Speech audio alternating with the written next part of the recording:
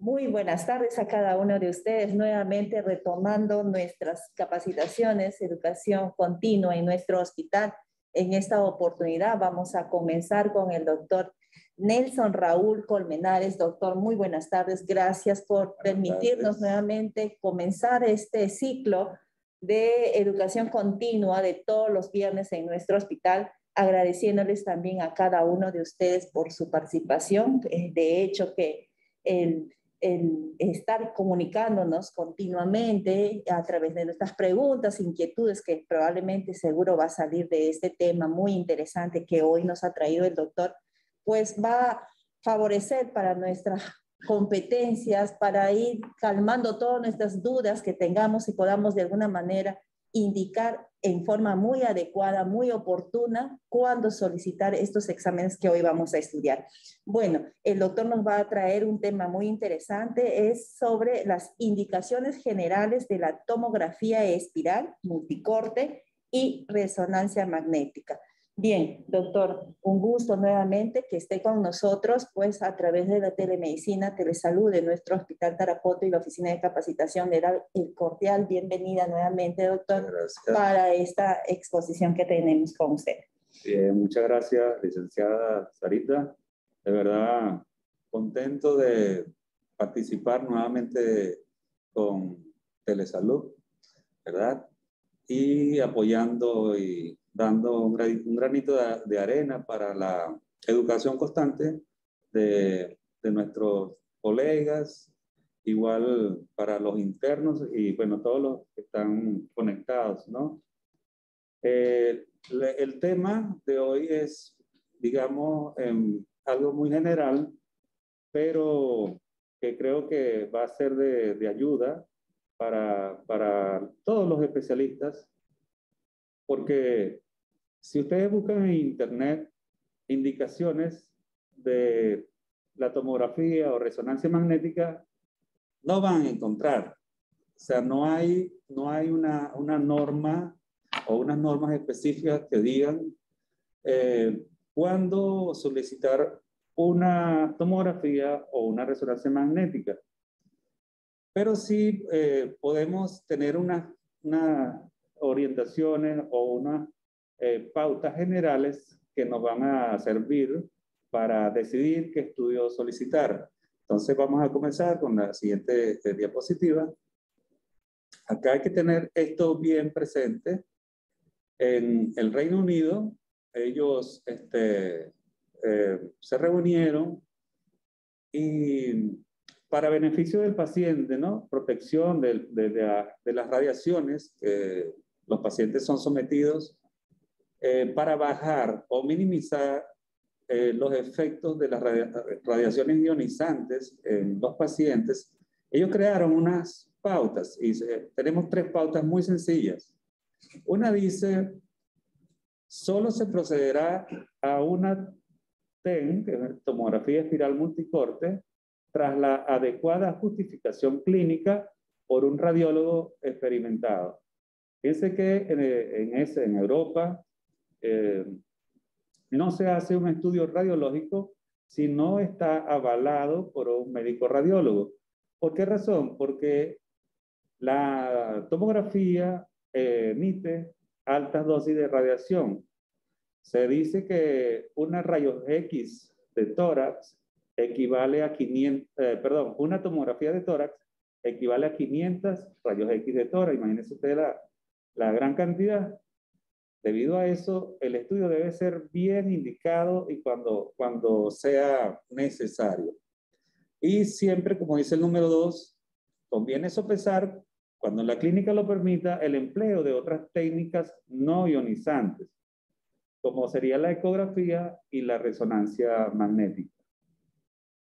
El tercer punto sería, dice allí, no, eh, no se efectuará, perdón, una eh, rayos X o tomografía a pacientes embarazadas y una sólida justificación clínica. Eso es bien importante también porque eh, hay que proteger al feto, ¿no? Sobre todo en las embarazadas menores de 20 semanas. Hay que tener este, especial cuidado y tratar de no utilizar eh, las radiaciones ionizantes en pacientes embarazadas, solamente que sea estrictamente necesario, evaluando riesgo-beneficio para decidir hacer un estudio radiológico en una embarazada. Teniendo estos, tres puntos, ya podemos tener una, una, una pauta, una guía, ¿no? Ahora, seguimos. También eh, vamos a ver en forma general las indicaciones de la tomografía.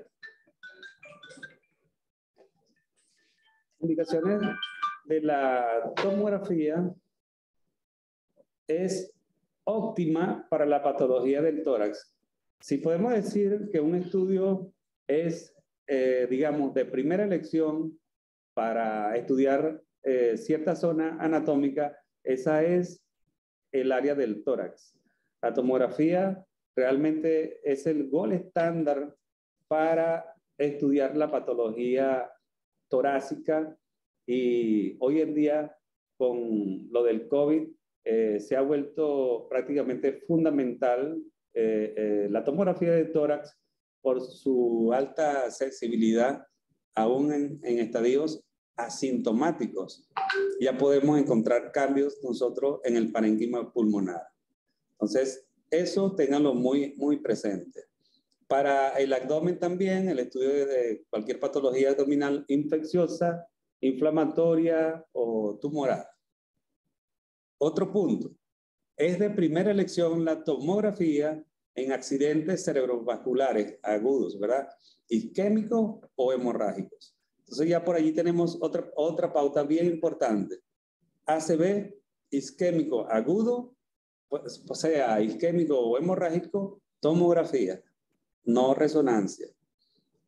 También es de primera elección para el estadiaje de las eh, neoplasias, ¿verdad? Para el oncólogo decidir qué tratamiento eh, va a, a indicar al paciente y para su seguimiento es tomografía de tórax, abdomen y pelvis, o cuello, tórax, abdomen y pelvis, dependiendo del caso, para eh, hacer el, el adecuado de, de los pacientes con, con, cáncer, ¿no? También es muy, muy importante para la evaluación preoperatoria de masas complejas y el control postoperatorio.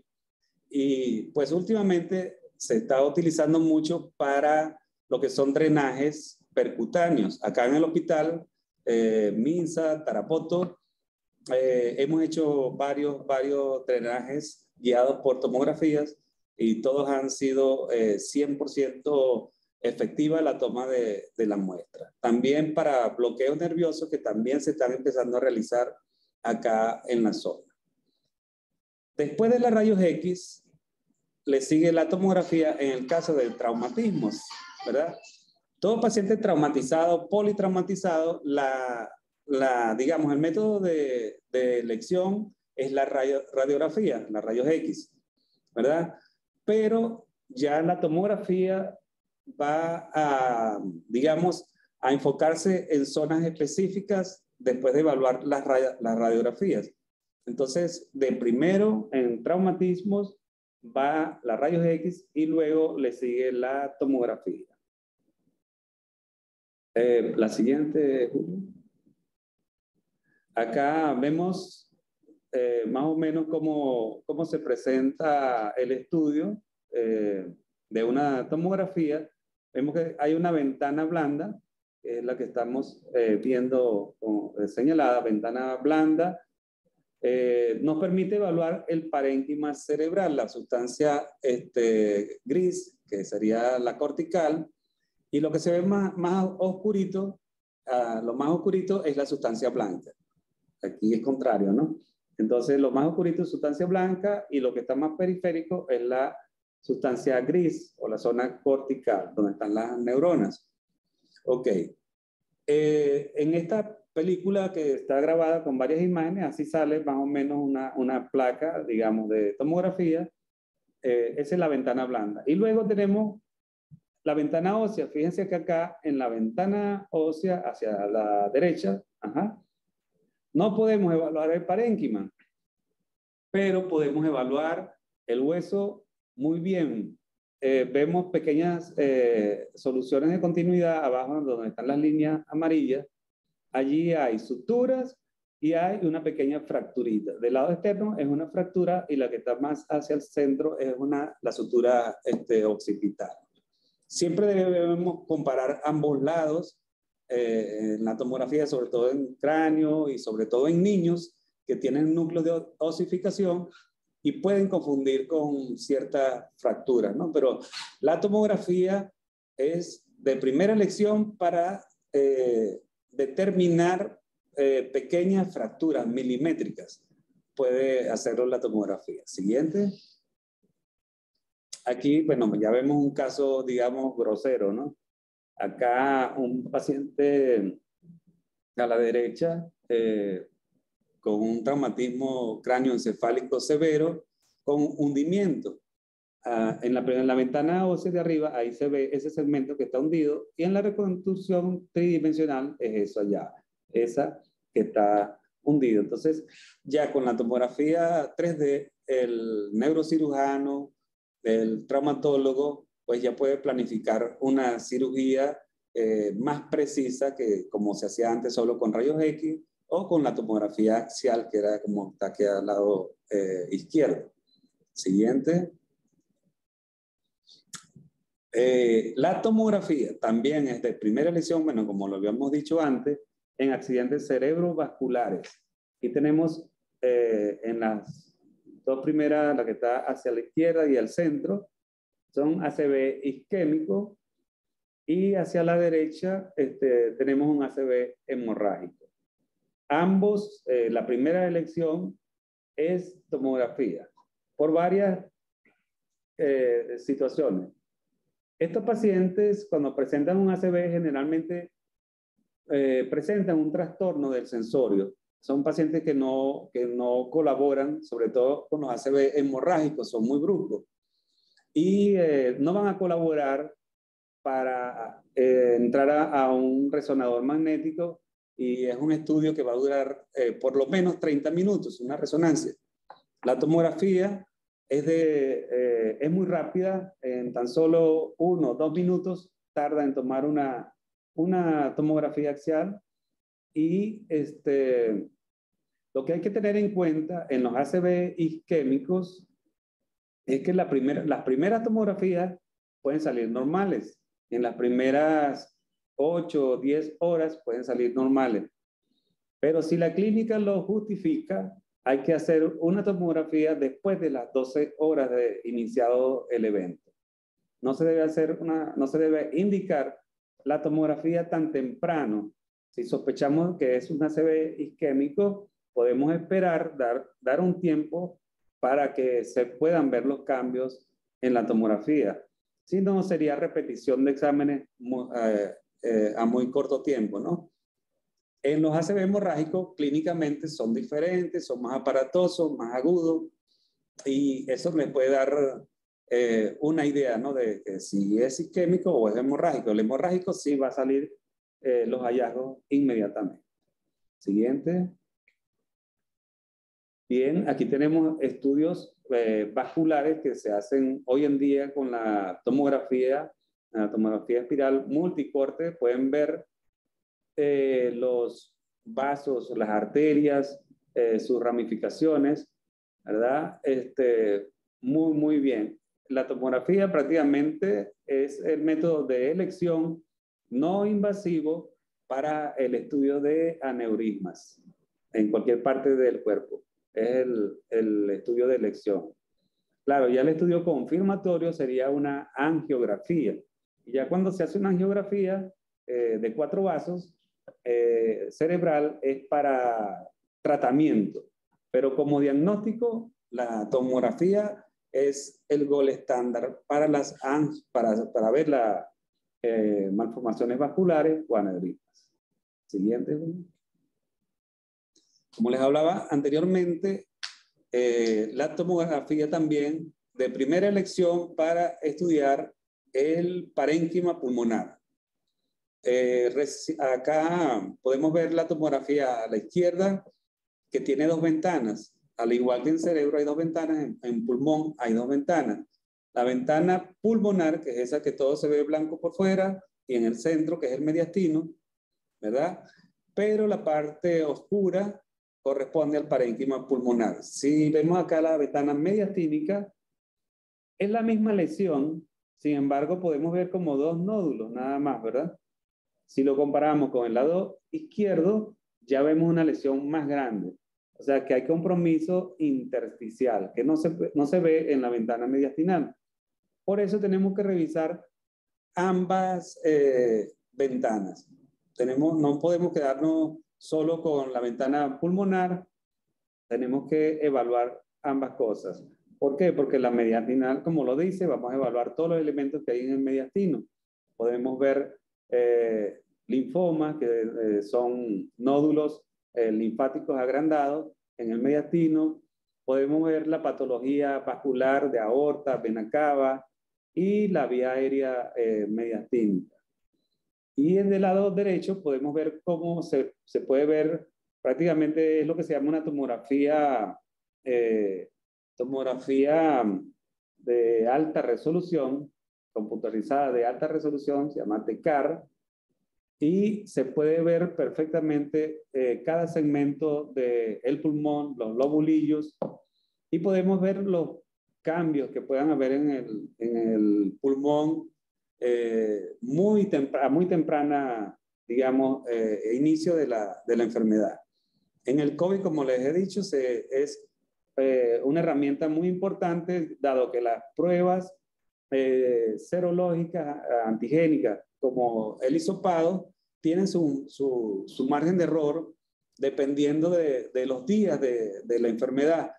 Pero la tomografía desde muy temprano ya nos da eh, signos como es el vídeo de Eh, igual, todas las patologías este, pulmonares intersticiales la podemos evaluar perfectamente por tomografía. Siguiente, Julio. Okay. Aquí seguimos, vemos una, una rayos X con un ensanchamiento mediastínico, pero no podemos eh, decir qué hay allí. Puede ser vasos que estén ensanchados, la aorta, un aneurisma de aorta, pero puede ser otra cosa. Ah, si vemos al lado derecho, eh, al centro, la ventana mediastínica de ese paciente tiene grandes nódulos entre la, lo que es la aorta, ¿no? Y la tráquea. Ese es un linfoma, linfoma de Hawking, eh, grandes nodulaciones que tiene ese paciente. Eh, hacia arriba podemos ver el parénquima pulmonar como hay algunas alteraciones. Debería verse todo negrito con este, eh, los sectos de los lobulillos, ¿verdad? Las cisuras, que son normales. Esa, ok, es normal, pero hacia el lado, eh, digamos, izquierdo del, del pulmón, eh, hacia el otro lado, hacia la derecha, ahí, ahí hay una, una mancha blanca, ¿verdad? Que corresponde a una fibrosis hay bronquiectasia, o sea, los bronquios están un poco dilatados. Buscamos esos huequitos negros que se ven allí. Son bronquiectasias. Y hacia este lado, en esta, en esta imagen, en la otra, ahí abajo, que se señala con flecha, bronquiectasias. Esos son secuelas de infecciones pulmonares, ¿verdad? Entonces, recordar eh, tomografía de primera elección para pulmón. Vean cómo se puede ver la vía aérea por reconstrucción tridimensional. Se pueden hacer muchas cosas por, por tomografía. Eh, siguiente. Abdomen y pelvis se pueden evaluar muy bien también. Y como les dije anteriormente, es de primera elección para el estadiaje de los tumores. Pero podemos ver patología infecciosa, como son los accesos eh, hepáticos, acceso este, pancreáticos, renales, en vasos, o sea, accesos retroperitoneales, pélvicos. Em, podemos estudiar también el trauma abdominal cerrado, ¿verdad? Eh, la tomografía también, eh, después de la ecografía, eh, viene la tomografía. Fíjense que la tomografía no es de primera elección en un trauma abdominal cerrado. De primera elección es la ecografía, que se llama ECOFAST. Y dependiendo de los hallazgos del ECOFAST y la evolución del paciente, sobre todo si baja la hemoglobina, eh, hay otros signos que, que, nos está indicando que haya eh, una rotura de, de, una víscera o de o algún vaso, entonces se procederá a una tomografía con contraste para determinar eh, la lesión en específico. Pero no todo paciente traumatizado, por favor, no todo paciente con trauma abdominal cerrado requiere una tomografía. Siempre se debe evaluar primeramente con ecografía, evaluar la clínica y luego tomar la decisión si amerita o no una tomografía. Siguiente. Hay estudios especiales por tomografía, ¿verdad? Que se hacen hoy en día. Eh, aquí les traigo, por ejemplo, la broncoscopía virtual. Así se comenzó, año 2000. Esta, este fue un estudio eh, de un paciente que eh, tuve con un, un tumor broncogénico. Eh, lo seguimos por cuatro años que el paciente falleció, pero fíjense eh, cómo podíamos determinar bien la lesión, eh, viendo por delante, por detrás, ahí estaba, y la broncoscopía esta, que está por acá. Eso fue 2004, pues hoy en día los, el resonador, perdón, los tomógrafos eran de cuatro cortes y daban buena calidad de imagen, pero hoy en día tenemos eh, tomógrafo, como acá en el hospital, de 64 cortes, eh, comparado a, a, 4 cortes, mucha diferencia. Tenemos tomógrafo también de 128 cortes, no, no, no está acá, no tenemos acá en el hospital, pero eh, de, de 16, 16 cortes en adelante ya hay muy buena resolución. Seguimos. Aquí tenemos un estudio de aorta. Estudio de aorta también eh, con, eh, de, esa fecha, año 2003, podemos ver un gran aneurisma de la aorta abdominal. Bajamos a la aorta, Julio, abajo, ahí, abajo, poquito más, esa. Esa es un aneurisma, lo que ustedes ven alrededor que está gris, es eh, una placa de ateroma, grasa, esa es una placa ateromatosa, es colesterol y grasa que se acumula en las paredes de las arterias se va debilitando y este, se produce esa dilatación aneurismática, ¿no? Entonces, eh, un paciente pues, eh, que se diagnosticó y fue operado y el paciente se recuperó. Seguimos. Acá también este, una imagen del año 2002, tomógrafo del mismo tomógrafo de cuatro cortes, ya teníamos la estudio de corazón el angio coronario virtual. Fíjense cómo podemos ver la coronaria derecha de ese lado. Eh, podíamos ver el corazón por primera vez en cualquier ángulo que queríamos. Eh, en esta de abajo es una vista axial y hacia, esta, hacia el lado eh, izquierdo del, del, televisor, acá ajá, es la coronaria derecha. Del otro lado está la coronaria izquierda que da dos ramas la que va hacia abajo es la descendente anterior y la que va hacia el extremo es la circunfleja. Entonces, podemos ver la cara posterior del corazón. Eh, hoy en día, pues, se sigue haciendo, estos estudios son no invasivos y dan muy buena eh, calidad diagnóstica. Seguimos. Un paciente con, con una enfermedad ah, arterio ateromatosa este, coronaria severa de la derecha, era no tratable, había que, estaba esqueletizada y eh, en, la, en la diapositiva de abajo podemos ver, ahí hay un, un bypass. Ese es un bypass. Acá también está, se ve mejor todavía, un poquito más abajo. Y ahí, esa que parece una culebrita, ese es el bypass. Ese paciente, eh, un paciente venezolano fue operado acá en Perú, porque no, no se hacía la cirugía en esa época ya en Venezuela.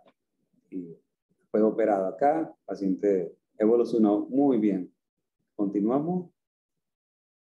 Y pues ya estos son tomógrafos eh, de, que tenemos actualmente de 64 cortes.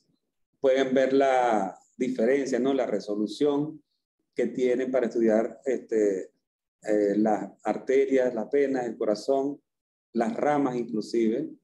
Eh, bueno, tenemos el tomógrafo de 128 cortes eh, actualmente disponible en, varias partes del Perú que dan mucha más resolución. Continuamos, Julio. Igual, estudio de aorta, eh, perfectamente evaluable todo lo, que es la aorta, riñones y, pulmones, o sea, es una amplia gama de estudios que podemos hacer con, con la tomografía uh, espiral multicorte. Continuamos. A nivel del abdomen podemos hacer estudios renales. Prácticamente la urografía de eliminación está quedando un poco relegada, ¿verdad? Por el urotén.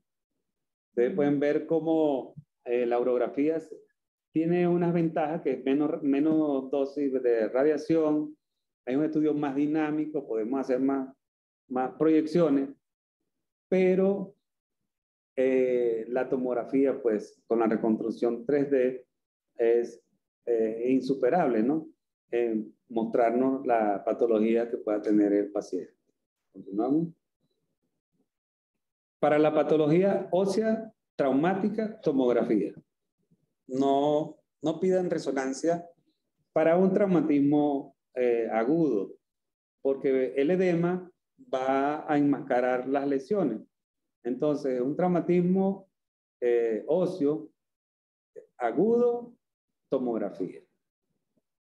Como lo pueden ver en las imágenes, pues, como dice la, una imagen vale más que mil palabras, ¿no?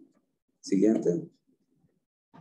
Fracturas que de repente son difíciles de ver en, en la rayos X, pues acá se pueden ver perfectamente. Con la reconstrucción 3D, el traumatólogo puede precisar o determinar qué tipo de material va a colocar, de qué diámetro, longitud, todo este puede planificarlo perfectamente con la tomografía multicorte. Continuamos. Bien, esta, bueno, esta imagen es de el doctor Raymond Damadian, quien en 1970, bueno, en el 69 ya, él había propuesto eh, usar un resonador magnético para evaluar las eh, imágenes en el, cuerpo, en, el, en el cuerpo humano. Pero es en el año 72 que logra hacer el primer prototipo de, de, un resonador magnético. Allí lo pueden ver, el paciente entraba, se, se sentaba en esa silla que, que, se ve allí y este, con ese equipo se tomaron las primeras imágenes de resonancia magnética. Eh, digamos, irónicamente o paradójicamente, a este doctor no le fue otorgado el premio Nobel y no se sabe por qué no, no le dieron. Es prácticamente el único físico que ha hecho, ha creado un, digamos, un método de estudio eh, tan importante como la resonancia magnética y no le fue reconocido con el premio Nobel. Seguimos. Los equipos de resonancia magnética eh, hay de campo abierto, ¿verdad? Que son estos, pero estos equipos son de baja resolución, de 0,3 a 0,5 teslas, y los campos cerrados, que ya son de 1.5 teslas, 3 teslas en adelante. Eh, acá en el Perú hay de 1.5 y y de 3 teslas. El que tenemos nosotros acá en el hospital es de 1.5 teslas. Ok, seguimos. Indicaciones de la resonancia magnética. Bueno, estudios del encéfalo, del parénquima, ¿no? Encefálico en general, para patología de las diferentes patologías inflamatorias, eh, eh, patologías tumorales, patologías crónicas, isquémicas crónicas. Eh, tiene una gran importancia porque no, no produce radiaciones ionizantes.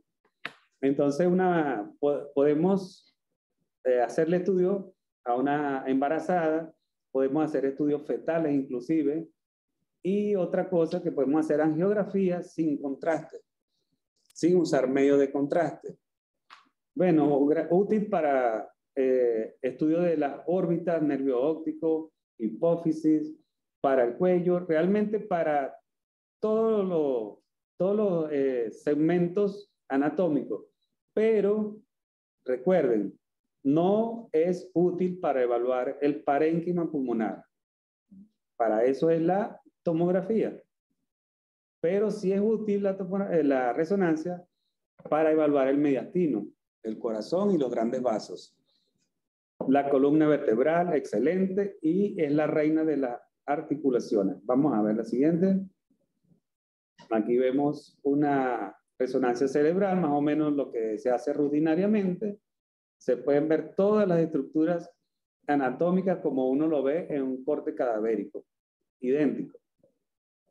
Y podemos evaluar, por ejemplo, acá hay una patología, eh, una infartos lacunares, que es una eh, microangiopatía isquémica crónica, generalmente por hipertensión y mm, muchos de estos pacientes terminan con una demencia, dependiendo si estos infartos eh, ya son muy en cantidad abundante, el paciente prácticamente eh, cae en una demencia.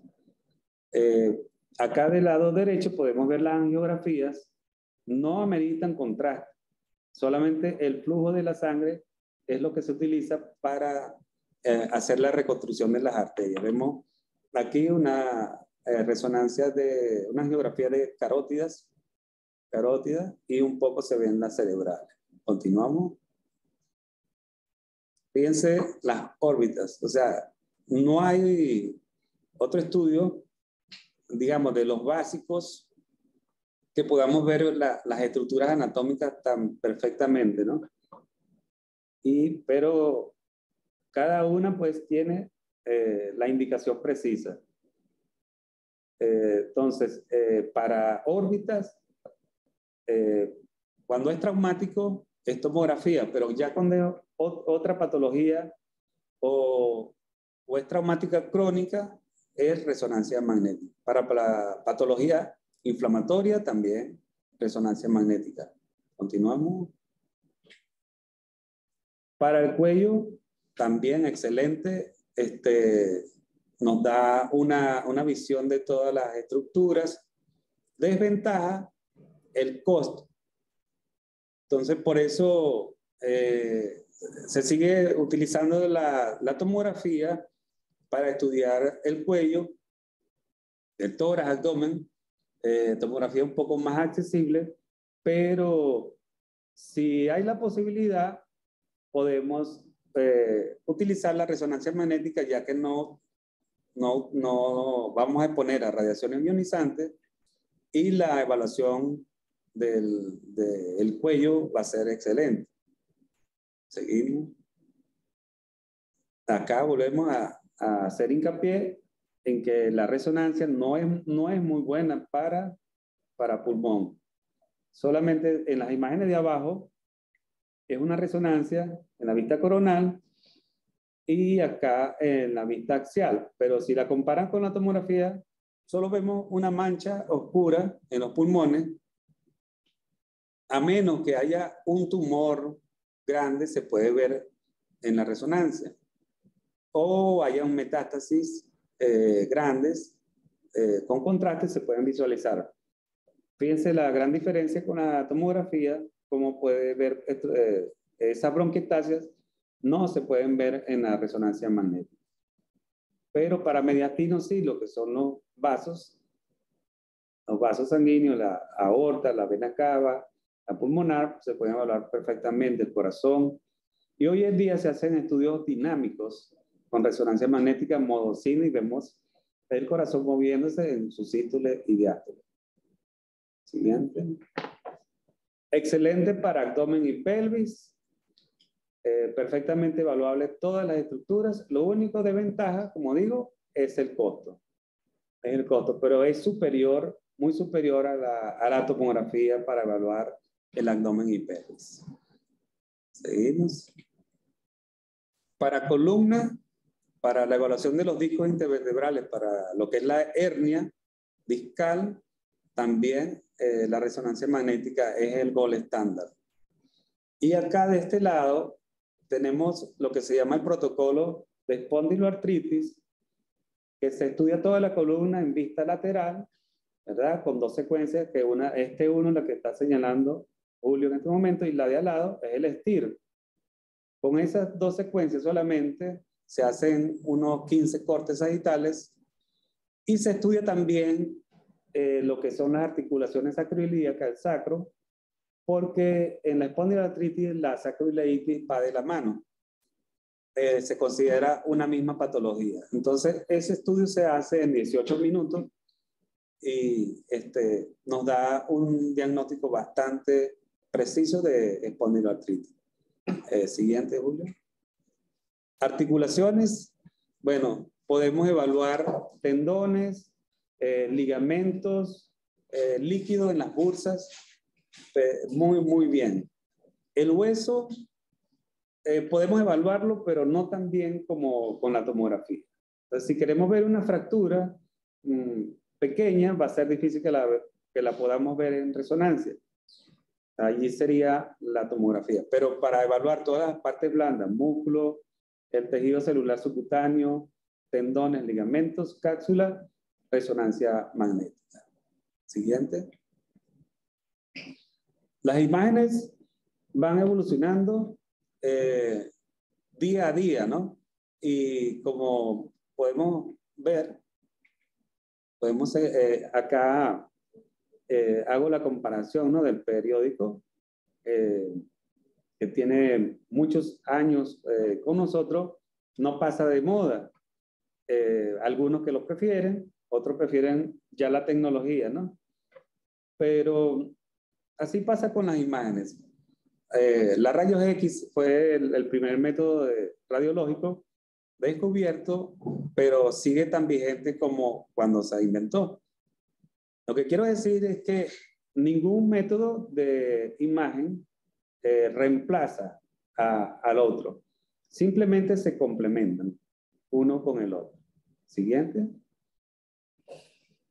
Aquí podemos ver, por ejemplo, un traumatismo craneoencefálico. Lo primero que vamos a hacer, rayos X de, de cráneo, AP lateral, si vemos alguna alteración, entonces allí vamos a la tomografía y dependiendo de la clínica del paciente. Eh, siguiente. Ahí está la tomografía. Eh, siguiente.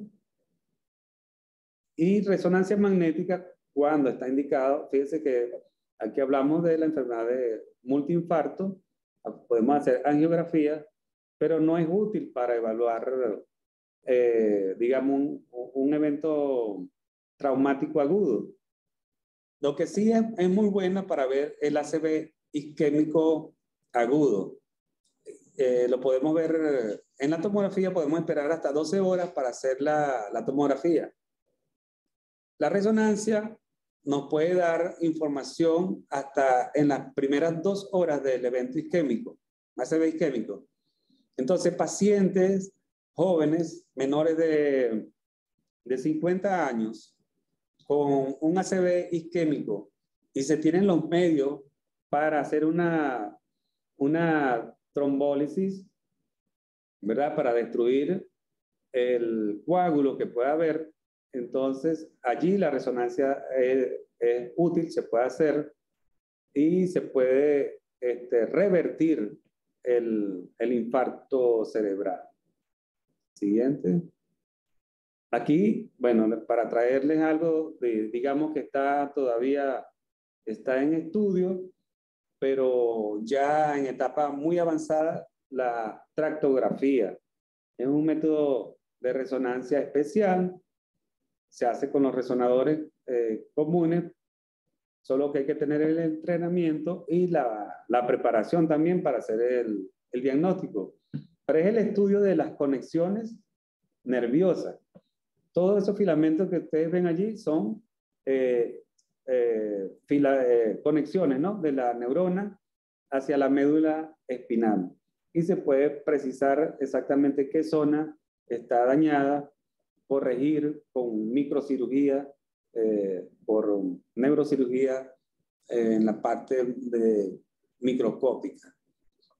Esto va avanzando cada día, pero mm, no porque, porque los métodos este, eh, avancen, vamos a, a pedir de una vez una resonancia magnética. No, tenemos que, cada patología tiene su protocolo de estudio, ¿verdad? Alguna, por ejemplo, en el trauma abdominal cerrado, ecografía de primero, ¿verdad? Posteriormente, si, si lo requiere, una tomografía. Resonancia magnética no, ya no sería muy necesario porque la tomografía nos daría toda la información.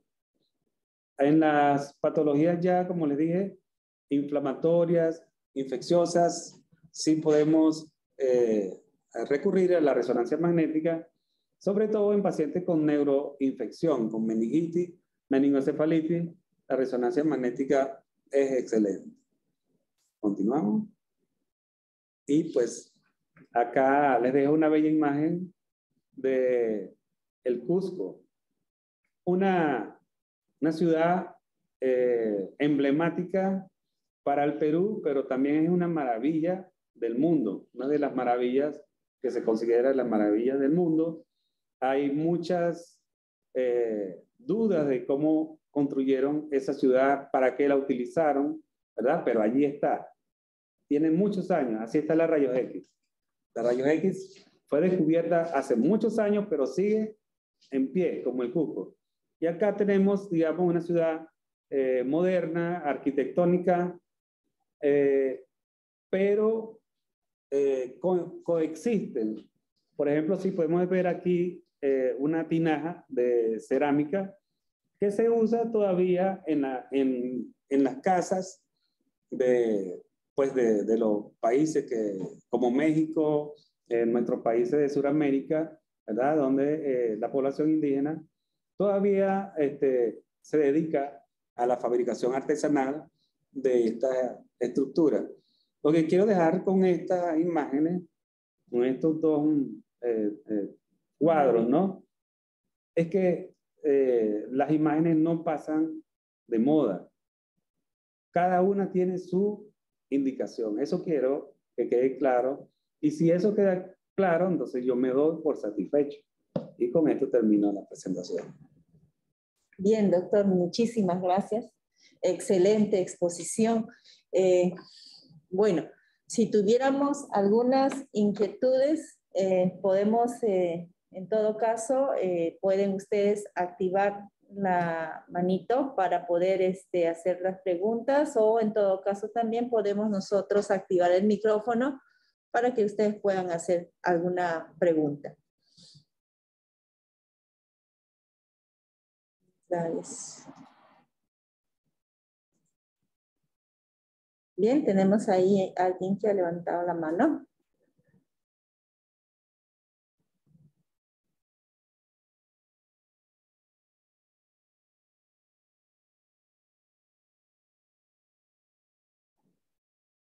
¿Se puede?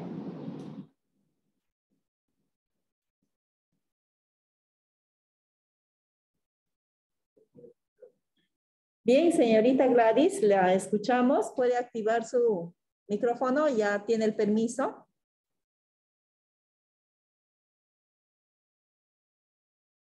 Hola, buenas tardes.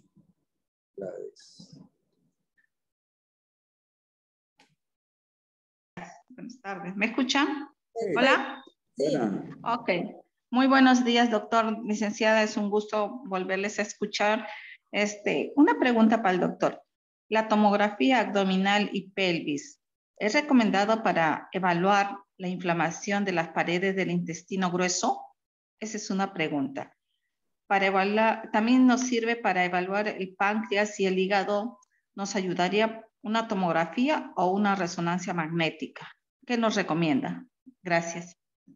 Ya, bien. El estudio para páncreas y eh, páncreas y me dijo hígado, ¿no? Hígado, hígado. Ok, esas dos eh, se pueden evaluar muy bien. De hecho, cuando hay una pancreatitis, cuando hay una pancreatitis, el estudio, digamos, después de la ecografía, es tomografía con contraste. Y con, con tomografía eh, hacemos lo que se llama el índice de Baltasar, donde determinamos el grado de severidad de esa pancreatitis. ¿Verdad? Podemos decir si es leve, moderada, severa, y se puede predecir el riesgo de mortalidad de un paciente con una pancreatitis aguda. Entonces allí, eh, digamos, el método de elección para la pancreatitis es eh, tomografía, la tomografía con contraste. El hígado también, este, cuando sospechamos de un acceso a mediano, eh, posterior a la ecografía se hace una tomografía con contraste. Y inclusive se puede hacer una, un drenaje de ese, de ese acceso, por ejemplo, a través de la guiado por tomografía. En cuanto al colon, también lo podemos estudiar por tomografía, eh, pero no, no sería el método, el método de, de elección realmente. El, eh, la tomografía en ese caso sirve para estadiaje. Eh, cuando ya hay un tumor grande que se pueda, digamos, visualizar. el método para, para el colon tenemos, no digamos, radiológico, la, el colon por enema colon por enema, eh, que es por radiología convencional, nos va a dar este, una, una muy buena información acerca del, del colon, las enfermedades inflamatorias y nos va a dar también este, hallazgos indirectos de si hay un tumor, porque se va a estrechar la luz del colon. Hay, hay unos signos específicos, como es el, el signo de la manzana mordida, que es típico de los tumores del colon. Entonces, allí podemos evaluar este, con un colon por enema muy bien eh, los divertículos, podemos ver eh, pólipos, y ya nos iríamos a la tomografía solamente para, digamos, en, el tumor, buscar eh, hacer el estadiaje, buscar adenopatías. Pero el método de elección sería el colon por enema y luego la colonoscopía. Ok. Muchísimas gracias, doctor, por la aclaración. Gracias, licenciada. Es un gusto escucharles. Gracias. Bien, ¿tuviéramos alguna otra pregunta? Doctor, ¿existe una diferencia entre TEN en, la terminología, es decir, TEN y TAC? Sí, este, realmente la TAC es la tomografía axial computarizada. ¿Qué pasa? Que fue la primera tomografía que se creó, ¿no? Y solamente eran cortes axiales, eran como eh, slides, ¿verdad? Eh, cortes, como lo dice la palabra, axiales, y solo podíamos ver como rebanadas, así como vemos eh, el jamón rebanado, ¿no? Así se hacían cortes axiales del segmento del cuerpo. Pero con el tiempo la, tomografía eh, fue evolucionando hacia la tomografía espiral. Ya no, no sea, el corte no era solamente axial, sino que ahora hacía un corte en espiral a través del, del ser humano, ¿no? Del, del, segmento corporal. Y se agregaron este, múltiples detectores. Antes, por ejemplo, el, el, tubo de, el tubo de rayos X que usaban los tomógrafos axiales era un solo tubo.